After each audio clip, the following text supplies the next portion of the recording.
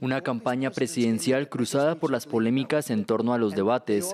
Primero, en junio, el mal desempeño del presidente Joe Biden en el debate de CNN contra el candidato republicano Donald Trump fue clave para que luego el demócrata renunciara a la reelección.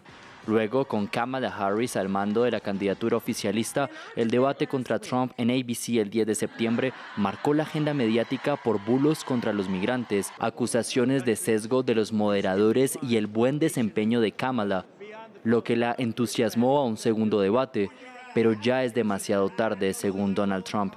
El problema con otro debate es que ya es demasiado tarde. La votación ya ha comenzado. Ella tuvo la oportunidad de hacerlo con Fox. Fox nos invitó y yo esperé y esperé. Y su campaña lo rechazó.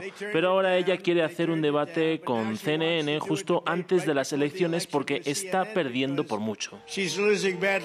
Una respuesta desde un mitin en Carolina del Norte protegido por vidrios antibalas a la insistencia de Kamala quien desafía a Trump con un debate en Georgia, uno de los estados péndulo que permitió la victoria de Biden en 2020. Aceptaré con gusto un segundo debate presidencial el 23 de octubre. Espero que Donald Trump se una a mí.